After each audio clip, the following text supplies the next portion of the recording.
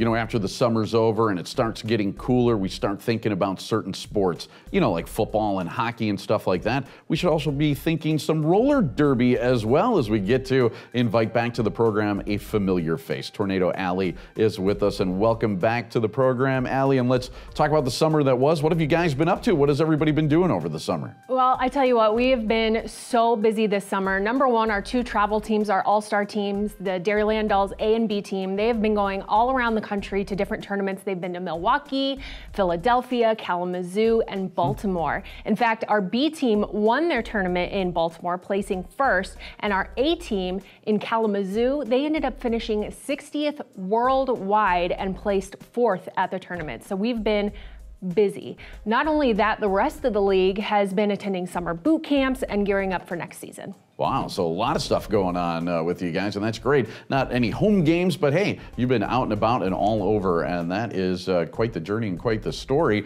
You know, one of the things too, you know, usually when I see you guys booked on the show, it says Mad Rollin' Dolls. Mm-hmm. There's been a name change, so uh, tell everybody what's up with that. Well, you know, we're trying to advance with the times. Uh, one of the main things is Dolls is very heavily female, kind of little girl sounding, mm-hmm. and you know, we want our name to kind of reflect the strong and revolutionary uh, athletes that we actually are. So changing up our name a little bit, kind of evolving with the times.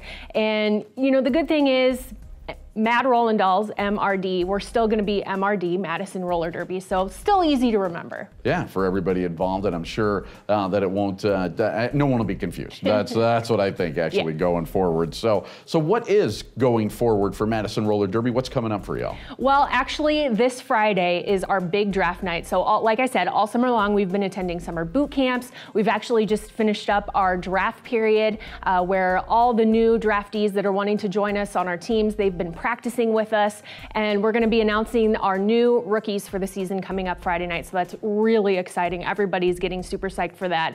Um, not only that, we're still working hard on our fundraiser. We're hoping to be announcing not only the new name for the league, we're going to have a new logo, new website, and we're going to have a big launch party coming up soon. So you'll want to keep an ear out for that one. Yeah, lots and lots of changes. How about with you personally? How did the summer go? Uh, well, what have you been up to personally? Well, I've actually been skating uh, with all the the skaters this summer during the boot camp, been helping out the draftees in uh, in our draft period, been helping them out with that. And so we're all just gearing up for draft night. It's it's getting really exciting. And all the home teams, they're also, you know, kind of organizing themselves, getting ready for next season, figuring out their strategies and what they're going to do going forward. Excellent stuff. You got me pumped up for the season. I love it. Tornado Alley, great to see you again. Thank you. Uh, we'll look forward to seeing you again throughout the season. Good luck coming up with the season. Thank you so much. A special thank you to Conan Automotive in Stoughton for supporting local athletics.